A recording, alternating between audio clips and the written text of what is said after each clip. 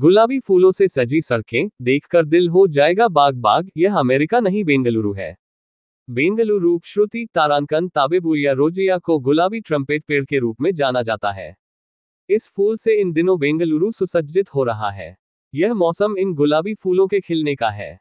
इस पेड़ की शाखाएँ गुलाबी रंग के विभिन्न रंगों में बड़े तुरही के आकार के फूलों से सजी होती हैं, जिनमें पीले रंग के पेस्टल से लेकर समृद्ध मैजेंटा तक होते हैं। खुशनुमा माहौल। बेंगलुरु में इन दिनों ताबेबुया रोजिया फूल रहे हैं। ऐसे में नम्मा बेंगलुरु के लोग खूब खुश नज़र आ रहे हैं। लोग शेयर कर रहे तस्वीरें। सोशल मीडिया पर बेंगलुरु की गुलाबी फूलों वाली तस्वीरें खूब शेयर हो रही हैं। सड़कों से लेकर पेड़ों पर खुले फूल बेहद खूबसूरत लग रहे हैं। ये इलाके खूबसूरत। Jayanagar, silk board, Kundalahalli, Trinity circle, silk board, palace road जैसे क्षेत्रों में और कब्बन पार्क और लालबाग में ये पेड़ नज़र आ रहे हैं। हर साल इस मौसम में खिलते हैं फूल। हर साल पिंक ट्रम्पेट ट्री बेंगलुरु को गुलाबी आलिंगन में ढकते हैं।